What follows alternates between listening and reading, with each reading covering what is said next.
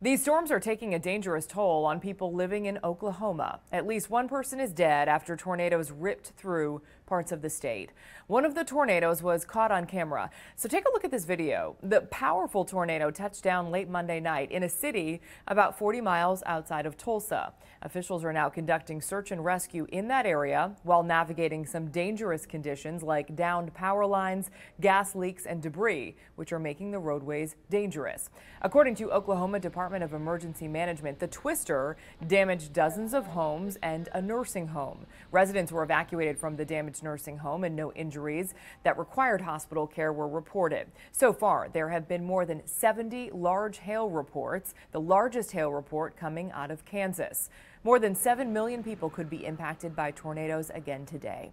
The National Weather Service will likely be in Oklahoma today to survey the damage and determine wind speeds from that tornado. Tens of thousands of people have lost power so far across parts of Oklahoma and Missouri as these severe storms sweep through the states. Ohio, Kentucky, and Indiana are facing what could be similar storms today. Jenna Enoch, Spectrum News.